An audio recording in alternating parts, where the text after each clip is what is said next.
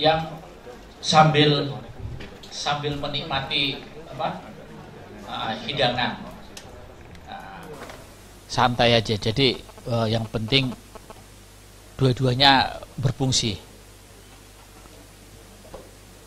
Ini berfungsi, terus mata berfungsi kan gitu kan.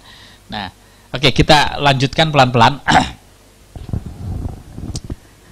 supaya bisa tersampaikan semua.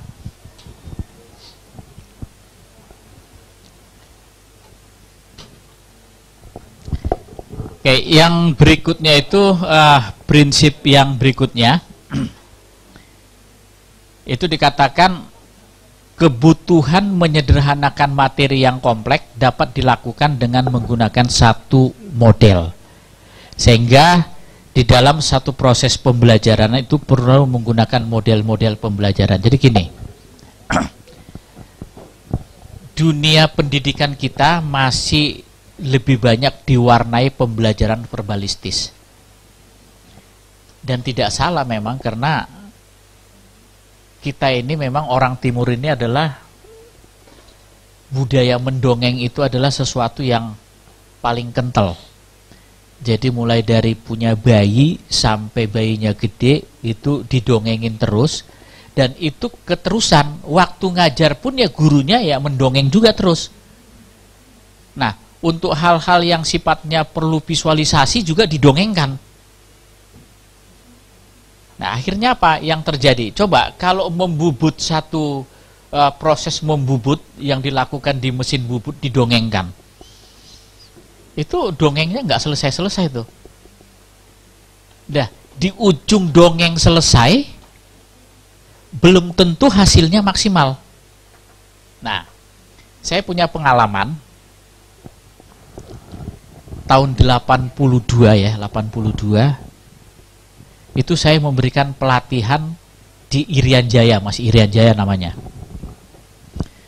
Nah, waktu kita pertama menggunakan overhead projector OHP, itu dulu saya di dari pusat pembakuan media, kita mengirim semua sekolah-sekolah dengan uh, mengirim OHP ke semua sekolah-sekolah. Nah, giliran sampai di Papua, OHP ini termasuk barang yang paling disayang sama kepala sekolah. Sangkin disayangnya, dari mulai diterima sampai kita datang itu ditaruh di rak, nggak dipakai, takut rusak. Sebetulnya waktu kita telusurin bukan takut rusak, mereka sendiri juga sebetulnya nggak tahu bagaimana menggunakannya. Nah ini Nah, waktu kita datang mendemonstrasikan, artinya hanya ingin mendemonstrasikan bagaimana kekuatan satu visual di dalam satu proses pembelajaran. Nah, waktu itu saya ingat ada satu guru kita panggil, itu guru yang terbaik di sekolah itu. Tanya, Pak, pernah ngelihat transportasi selain mobil enggak? Oh, belum. Kereta api? Belum. Itu guru. Guru di sekolah dasar itu belum pernah ngelihat kereta api. Terus gambar kereta api juga belum. Lah kalau gambar kereta api kalau ngelihat kereta api mungkin bisa aja ya di Papua itu nggak ada kereta api, tapi gambar kereta api juga belum. Ya, kebetulan. Nah, kok kebetulan Pak? Iya. Nah, kita mau mendongeng. Coba Bapak sekarang mendongeng tentang kereta api. Tunjukkan gambar kereta apinya. Nah, terus dia dongengkan lah ini kereta api ini. Kesimpulan dari dongeng si guru mengatakan ada satu transportasi di kota besar namanya kereta api. Bentuknya seperti rumah, panjang, jalan di atas besi. Itu kira-kira deskripsinya. Bentuknya seperti rumah panjang di atas jalan di atas besi. Bagaimana anak-anak? Ini saya hitung waktu itu kalau nggak salah sekitar 35 menit dia menceritakan itu. Apakah kalian sudah mengerti? Sudah Bapak Guru, semua sepakat mengatakan semua. Boleh. Persepsinya sama nggak tentang kereta api? Bagi kertas. Coba sekarang kamu gambarkan kereta api yang sudah dijelaskan Bapak Guru. Gambar. Saya ingat itu sampai sekarang sayang videonya itu masih di videonya itu yang yang Betamax ya itu banyak kemarin saya lagi bersih bersih rumah itu banyak banget video dan nggak bisa dipindahin itu jadi ada anak yang menggambar kereta api itu gini rumah yang namanya jadi Papua itu rumah Papua itu kan ya atapnya kan dari ilalang ya nah dari ilalang nah jadi bentuknya seperti rumah panjang jalan di atas besi nah ini kesimpulannya gini lah kereta api itu Salah nggak? Salah nggak bu? Enggak, itu persepsi. Itu persepsi. Jadi waktu kita mengajar dengan menggunakan kata-kata saja, sebetulnya yang ada di benak mahasiswa itu persepsi. Bukan bentuk yang sesungguhnya dari materi yang kita ajarkan. Itu persepsi. Kalau persepsi yang nggak bisa kita salahkan, ya monggo.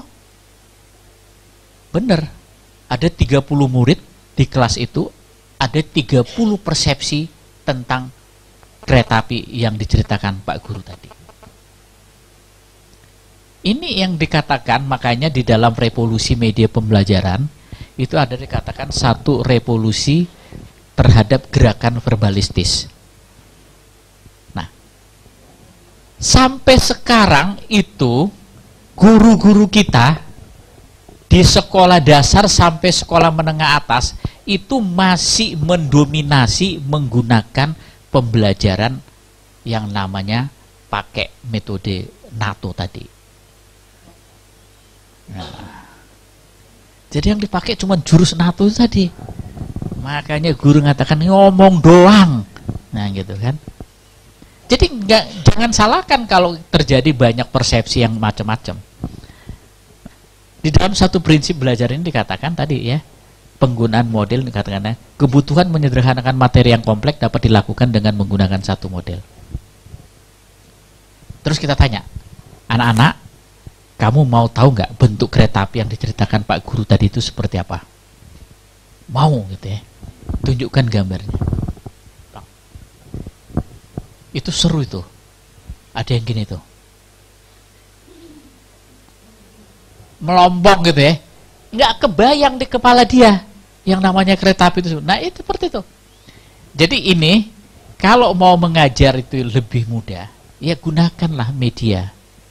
Sekarang ini apa sih yang nggak bisa kita cari? Urusan gambar apa yang nggak bisa kita cari? Ada Mbah Google, ya. Ada Mbah Yahoo, kalau mau cari video ada Mbak YouTube. Ya. Mbak Yu ya, ya kalau Mbak Yu, Mbak Yu kan sedang video ya. Kalau Mbak itu kan ya, ya tadi deh. Nah, tapi jangan tanya sama Tante Wiki gitu ya. Nah, kan gitu kan. Tante Wiki itu kan bersolek terus dia ganti-ganti, gonta-ganti. Kita nggak tahu sumber asalnya dari mana.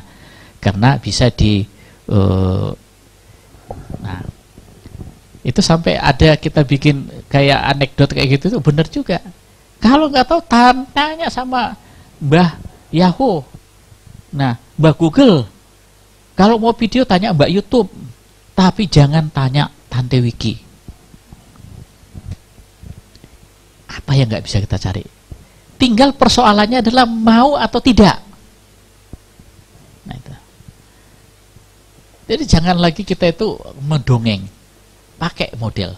Jangan nanti seperti seperti seorang tunanetra belajar eh lima orang tunanetra belajar gajah kan? Satu suruh pegang belalai satu pegang kaki satu pegang badan satu pegang telinga kemudian satu pegang ekor ditanya gajah itu seperti apa yang ada apa berantem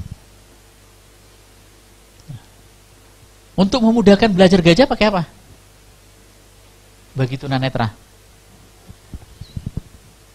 Kalau orang melek ya sih gampang ya, kasih visualisasinya selesai kan gitu kan. Nah, bentuk model ya, miniatur. Waktu miniatur gajah itu disentuh dia satu persatu kemudian gurunya mengatakan, "Le, yang kamu pegang sekarang itu ekornya." Dielus-elus itu ekor miniatur itu kan. Nah, itu belalainya itu telinganya. Nah sekarang sudah kamu tahu nggak gambaran kira-kira visualisasi atau persepsi kamu mengenai gajah itu seperti apa? Dia sudah bisa membayangkan.